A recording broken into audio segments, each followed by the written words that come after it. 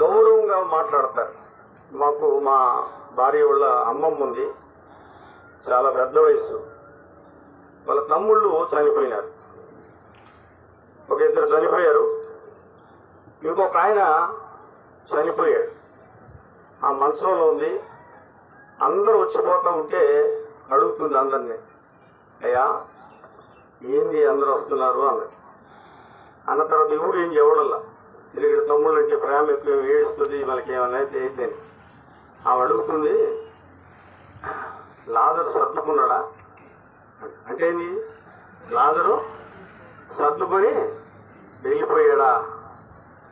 నాకు అనిపించింది ఏంది చనిపోయాడని అడుగుతారు కానీ సర్దుకున్నాడా? అంటుంది ఏంది అనుకున్నాను చాలా మంది ఏమంటారంటే మరి కాలం చేశారా? అంటారు. అంటే కాలాన్ని ముగించారా అని. అంటే ముగిస్తే ఏమైపోతారు? వెళ్ళిపోతారు అని. ఇంకా కొంతమంది ఏమంటారంటే ఆంధ్ర గారు వెళ్ళిపోయారా అని. కాబట్టి ఎందుకు ఈ పదాలను ఉపయోగించాడంటే ఈ భౌతిక దేహం మనలో ఈ భౌతిక దేహంలో నివసించేటువంటిది ఆత్మ జీవం ఉంది.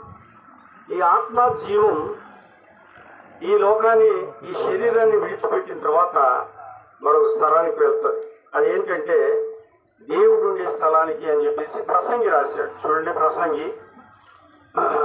పన్నెండో అధ్యాయము ఏడో వచ్చిన అంటాడు. మొన్నైనది వెనుకటి వల్లనే మరలా భూమికి చేరును. ఆత్మ దాన్ని దయచేసిన దేవుని యుద్ధకు మరలా మన ఆత్మ మన జీవము దేవుని యుద్ధ నుంచి మనకు వచ్చింది.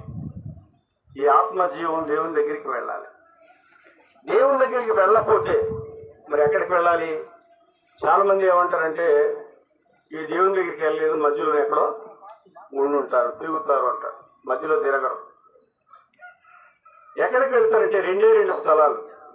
వెళితే దేవుని దగ్గరికైనా వెళ్ళాలి.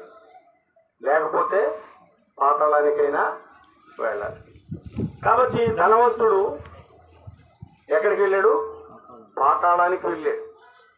అంటే ధనవంతులందరూ పాతాళానికి వెళ్తారని కాదు ఇక్కడ.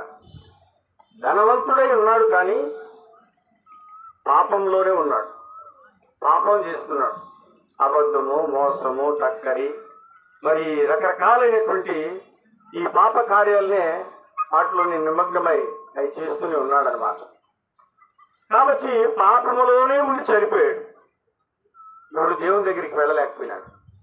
అయితే దరిద్రుడైనటువంటి లాజరు ఆ ఊరే ఆ ఇంచెదురే ఉండేవాడు. అయితే ఆయన చనిపోయినప్పుడు దేవదూతలు వచ్చి ఆయన తీసుకుని పోయినాయి ఎక్కడికంటే పరదేశం. అంటే దేవుడు ప్రభునేశ్వర క్రీస్తు వారు దేవుడు ఉండేటువంటి స్థలానికి.